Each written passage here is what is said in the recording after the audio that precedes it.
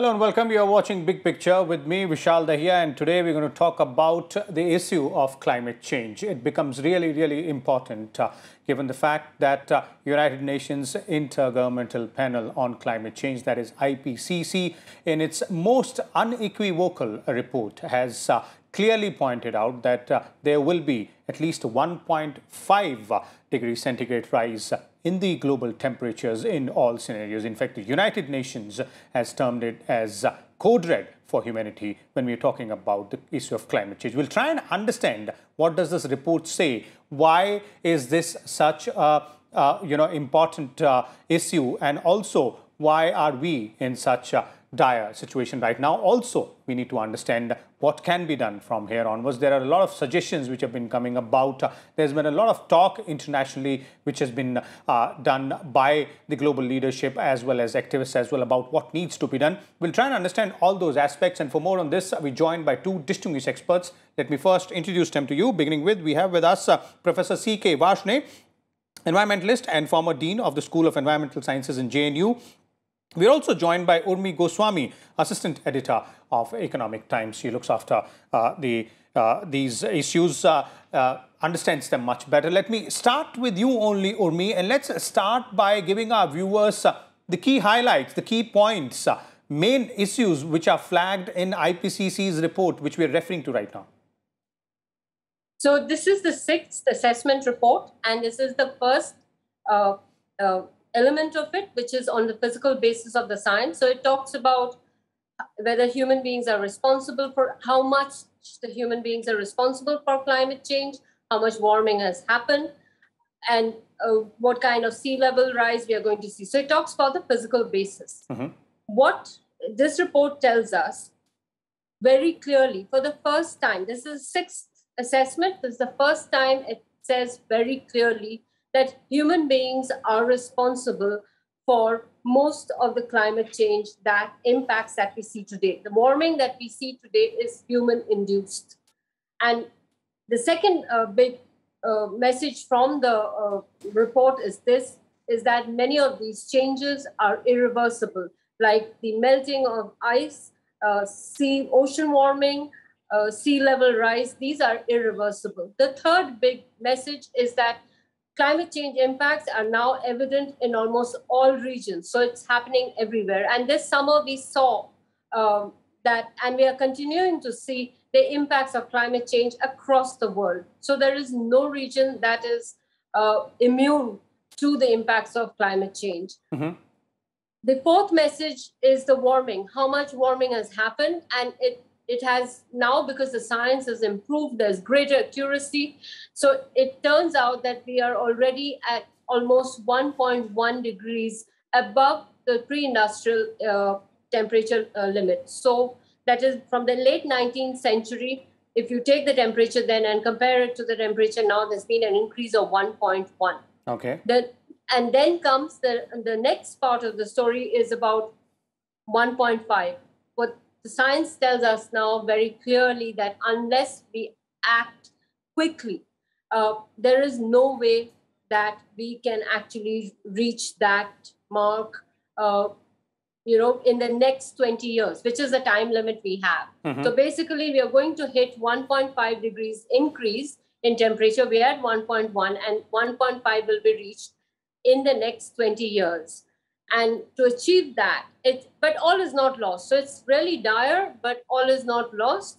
We still can reach that uh, magic figure of 1.5 but for that we have to do drastic reduction of greenhouse gas emissions. Okay. and that means starting literally today. Okay, okay. We'll, we'll come to that part a bit later in the discussion as to how uh, it can be done and what more needs to be done, uh, you know, uh, on the part of all stakeholders involved here. Let me bring in uh, Professor uh, Varshney here as well. Professor Varshney, uh, Urmi has uh, pointed out the key highlights. do you agree with what the United Nations assessment vis-a-vis this report is in, in, in simple terms? It says code red for humanity and as Urmi was saying, it's us who are responsible for it. I think the report is based upon science. And this is very clearly visible to us. What they are predicting is also experienced world over. Different regions have experienced different way of the impact. For example, the coastal areas get flooded. There are fires and forest fires which are unprecedented and taking a heavy toll on the forests, which are the repositories of carbon. And also, we must understand that the capacity to absorb and sequester carbon is also decreasing, both on the land as well as in the sea. And the temperatures are increasing. The night temperature average and the day temperature average, lowest minimum, is really shooting up. And we have already seen in the northern plains of India, as well as Middle East, as well as in the Pacific, uh, West Pacific, that we have seen temperatures which are absolutely unprecedented. And every year, it is really breaking the previous year's record. Not only this, every decade is really shooting above the previous decade. So I think these are some of the things which are very serious.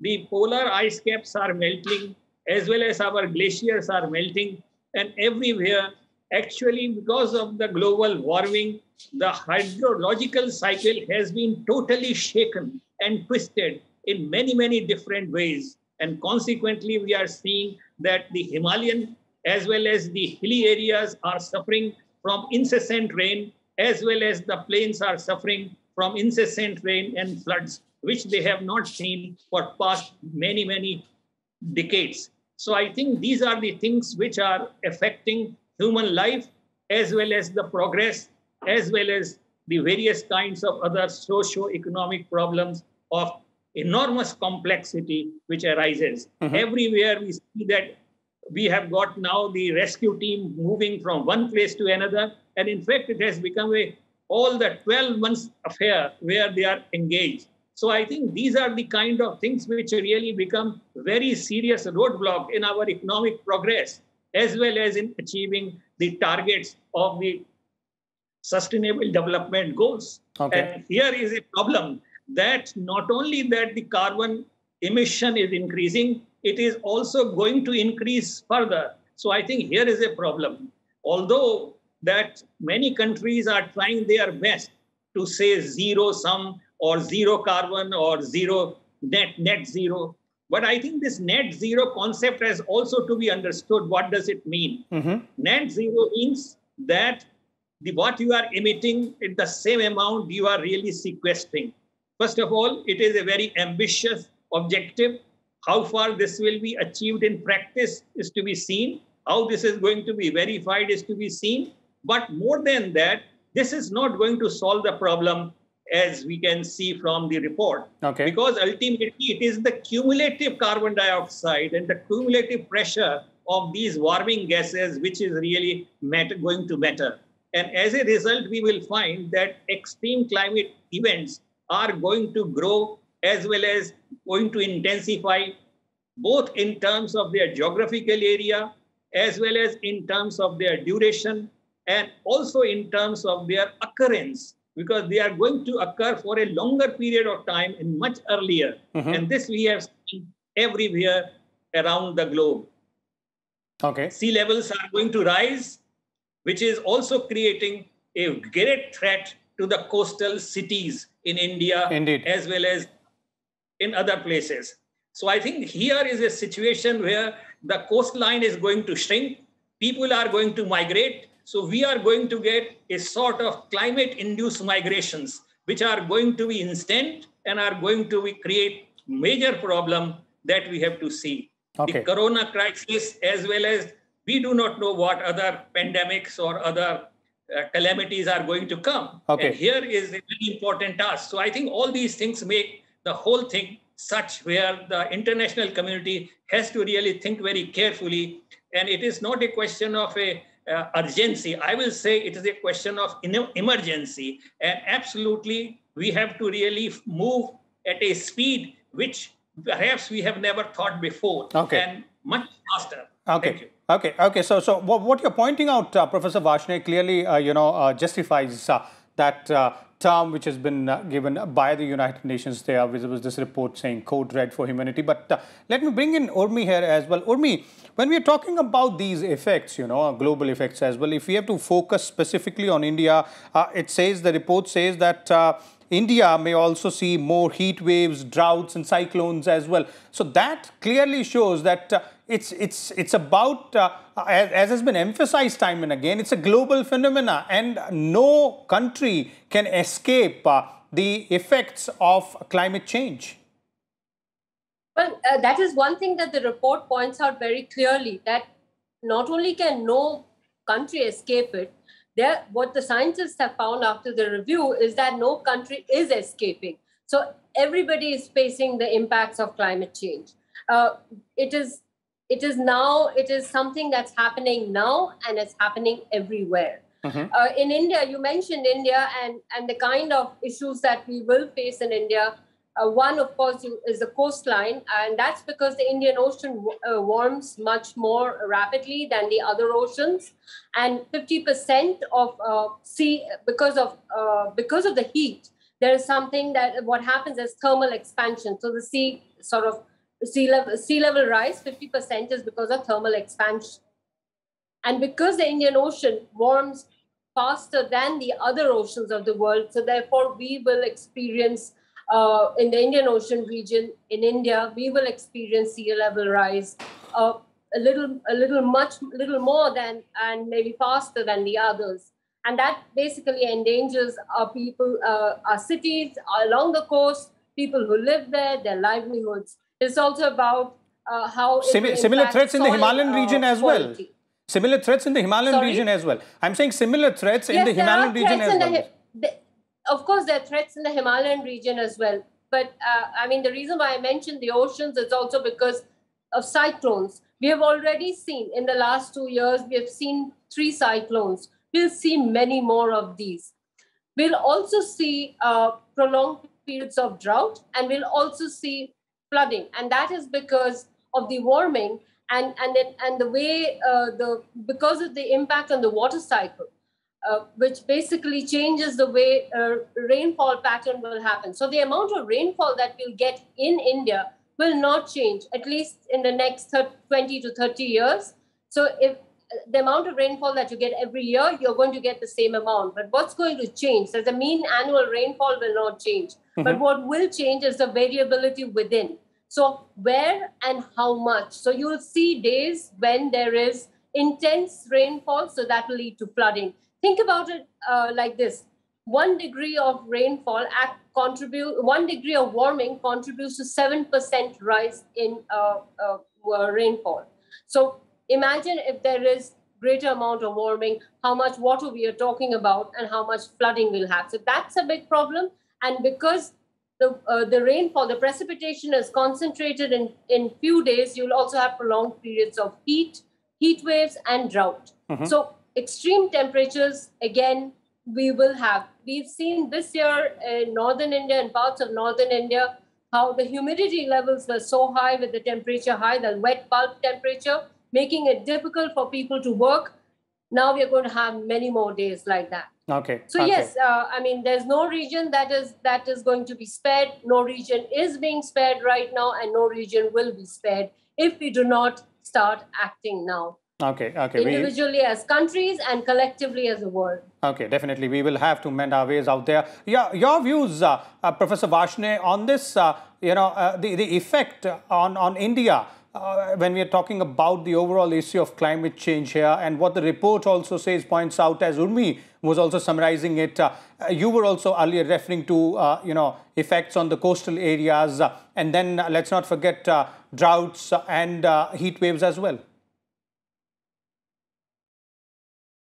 Sure. Let me also just point out that in case that uh,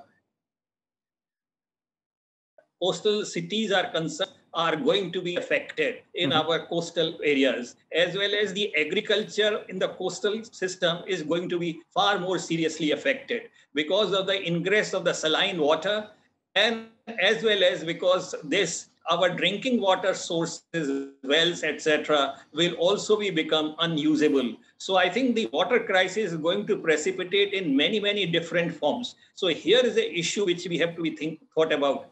And also we must see that agriculture takes a major share of the water which we provide as irrigation.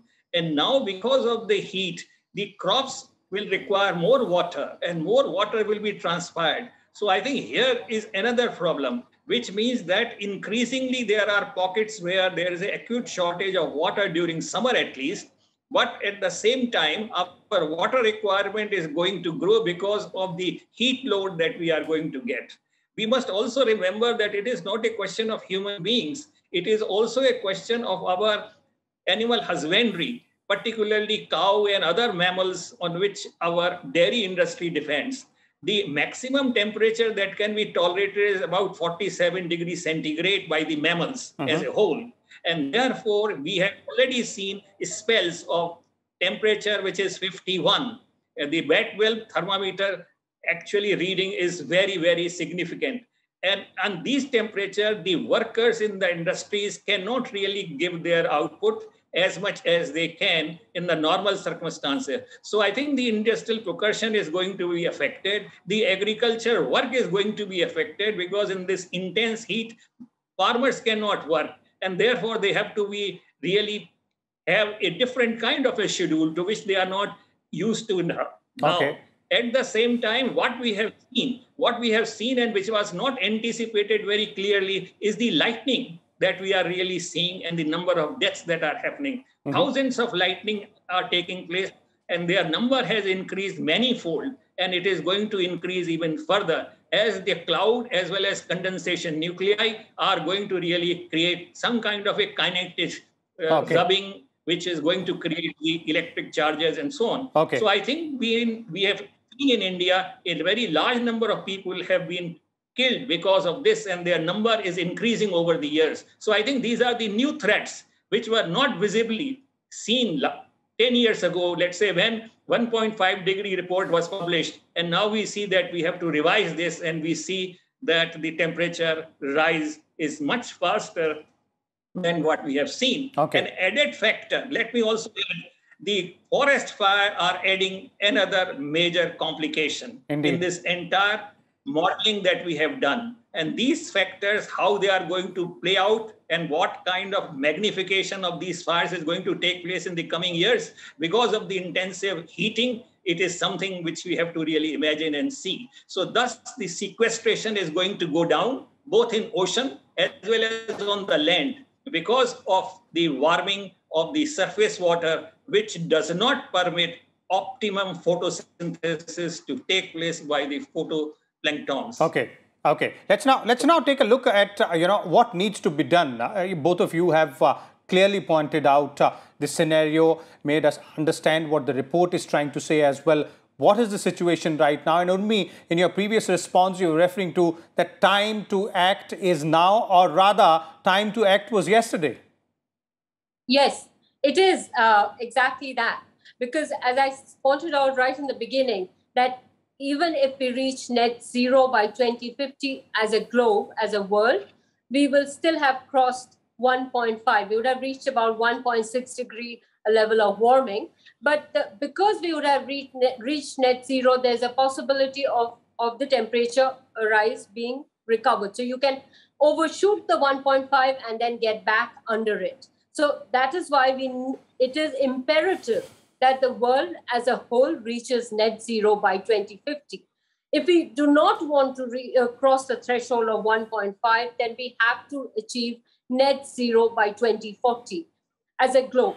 Now, what will that require? That will require every country to stretch itself and to find a way to grow their economy or undertake their economic activities without adding emissions. Because one of the things we must remember that the climate impacts we are experiencing today is because of the emissions that have happened till date. Beyond that, every every emission that we'll do in the future will add to future warming. Mm-hmm. So if we want to avoid future warming, then we have to ensure we cut the emissions. Also remember that there are many, many changes, as I said right in the beginning, those are irreversible at least for centuries or a millennia. Okay. There will be some which will be able to slow down. And what if we actually cut emissions? It will mean that we will be able to slow down or prevent them from worsening. So, what does it mean exactly for countries? It will mean that every country has to step up climate action, take measures to reduce emissions, take measures to adapt.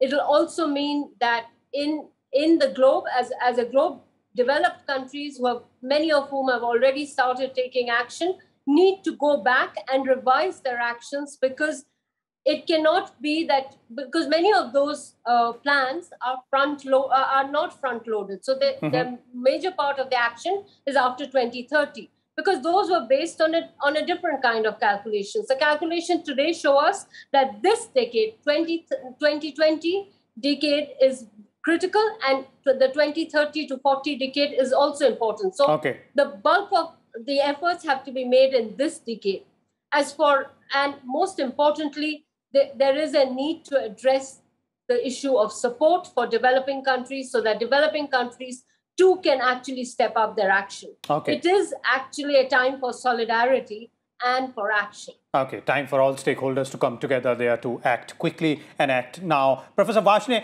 your concluding comments there, sir, on what needs to be done and also to understand more clearly whatever we are doing right now because the issue of climate change has been discussed, debated uh, and, uh, you know, are being talked about a lot in the past uh, two decades or so. But uh, whatever we are doing as a world, as a, uh, you know, community, is that enough? I think anything that we are doing is fine, but I think all this has to be stepped up many folds. Mm-hmm. But there are certain problems which also need to be aware of. For example, resurgent nationalism, as well as fractured international understanding. These are the some of the things which are going to be something on which we have to really work, okay. so that everyone both vertically and horizontally, are aligned and are committed to one cause. Also, we must understand that the top bureaucracy and the decision making body, from that downward to the village level and village community and village panchayat, all must have to work together in unison, in a seamless manner, on one objective of really finding out the issues as well as activities which contribute to the global warming, be our living style, be our food and cons- consumption pattern, everything has to be taken into account.